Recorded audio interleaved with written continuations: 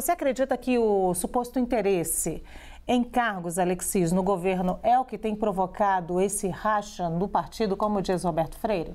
É sempre uma ameaça, né, Lu? Porque, bom, boa tarde a todos. Mas é sempre uma ameaça nesse, nesse modelo de partidos no Brasil, em que sempre a oferta de cargos, oferta de emendas, sempre engraxam essa nossa democracia que custa muito caro. Agora, de fato, tem alguns elementos que, particular a muitos partidos, que eles têm um dono que está há 31 anos no, naquele, na, na função, o partido já mudou três vezes de nome, né? era o PCB, quer dizer, tinha tudo para ser algum partido alinhado mais com a esquerda, PCB, Sim. PCdoB, são partidos que teriam isso.